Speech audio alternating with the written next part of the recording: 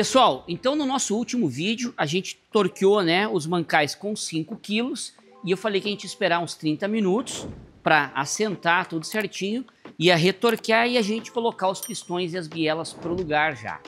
Só que olha que interessante, enquanto estávamos, né, eu cobri o motor, estava esperando dar os 30 minutos, que eu sempre espero antes de repassar o torque nesses motores grandes, já fui puxar o conjunto de pistão e biela e aí eu fui pegar na ponta do virabrequim aqui para girar, para mim acertar ele aqui, para mim ver a posição certa. E a hora que eu fiz isso aqui, o motor, o virabrequim simplesmente não girou. Falei, bom, no, no torque final aí alguém travou e eu vou ver o que que é. E aí eu comecei a soltar, comecei a soltar. Eu imaginei que poderia ser um mancal central por conta dos anéis de encosto, né, que vem no, na, na própria bronzina.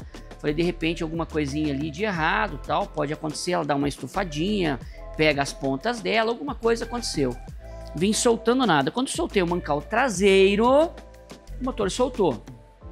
Tirei as bronzinas, olhei, né, o visual tudo certinho, limpei, óleozinho de novo, coloquei, retorquei, travou.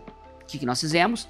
Tirei todos os mancais, coloquei do lado, torqueei todos os mancais de volta, né, limpei, tirei todo o óleo dele, torqueei, peguei o micrômetro e o súbito e aí medi, né, fui conferir a medida do virabrequim, perfeito, zerei o súbito e comecei, banca 1, perfeito, 2, perfeito, 3, perfeito, virei por aqui, 4, perfeito, quinto, apertado, do que eu queria, ele estava apertado 12,5, 0,12,5 a mais.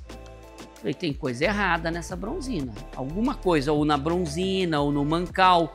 Falei, mas o mancal não foi mexido, pode ser alguma coisa na bronzina.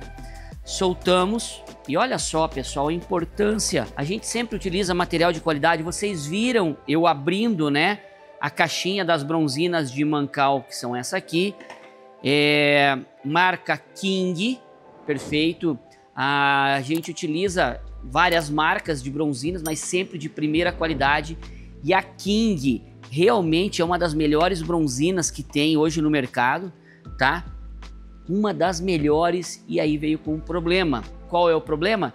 Se vocês lembrarem no início do vídeo da montagem, eu falei que esse motor tinha sido montado há pouco tempo, que o motor ele já estava 0,10 em polegada, ou seja, 0,25 em milímetros, que o virabrequim a gente só poliu mesmo as bronzinas tendo sido muito pouco funcionadas, as bronzinas a gente colocou um jogo novo, perfeito? Então, só para vocês relembrarem. Então, lembrem-se que esse motor era 010, perfeito? Qual foi o meu espanto quando a gente foi olhar a bronzina? Tirei as duas bronzinas, a bronzina furada que vai no bloco, 010. A bronzina superior que vai na capa de mancal, 020, pessoal. Dentro da caixinha da King, zero. Eu abri na frente de vocês aqui. E a do mancal traseiro aqui do quinto mancal ela é mais larga, né? Então a bronzina veio com uma bronzina 0,20, todas elas certinhas 0,10. A fábrica na hora de embalar, por algum motivo, algum problema lá, em vez de colocar todas as bronzinas 0,10, me coloca no meio uma 0,20. Por que, que eu estou mostrando isso para vocês? Eu poderia simplesmente não mostrar e tudo certo mas que serve para vocês verem, né? Antes, às vezes, de você sair brigando com a retífica, xingando alguma coisa, confere, vê se a fábrica, às vezes, não mandou fora de medida. Se tivesse marcado 0,10, o que, que nós iríamos fazer? Nós iríamos pegar um micrômetro apalpador, iríamos medir a espessura delas, conferindo para ver se não tinha um problema na própria bronzina, tá? E aí, Eduardo, o que você fez? Bom, como a gente faz muitos motores grandes, a gente sempre tem jogos de, de bronzina, sempre sobressalente, tá? Não vai valer a pena é, eu reclamar, apesar de que eu já tirei foto, eu vou mandar um e-mail para a empresa, eu deveria mandar para a King, mas eu não comprei da King, eu comprei de uma revendedora lá nos Estados Unidos, lá da Summit.